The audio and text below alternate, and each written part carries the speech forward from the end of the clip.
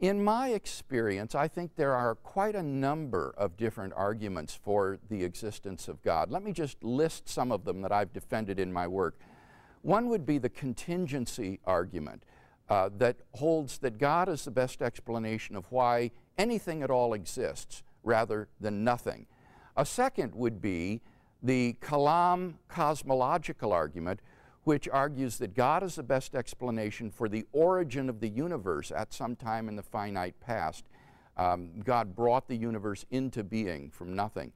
A third argument would be the design argument, which holds that God is the best explanation for the remarkable fine tuning of the initial conditions of the universe for intelligent life. Uh, another argument would be the moral argument that God is the best explanation for the existence of objective moral values and duties in the world. I would also think that the ontological argument for God's existence is a sound argument, which argues that the very possibility of God's existence implies his actuality, and that therefore, if God is even possible, it follows that God exists.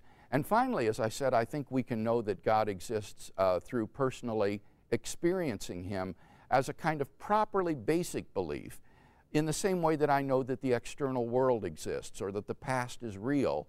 I can know that God exists in that same sort of uh, immediate, non inferential way. So that would just be a list of various arguments for God's existence that I think are sound and persuasive arguments and that I've defended in detail in my written work.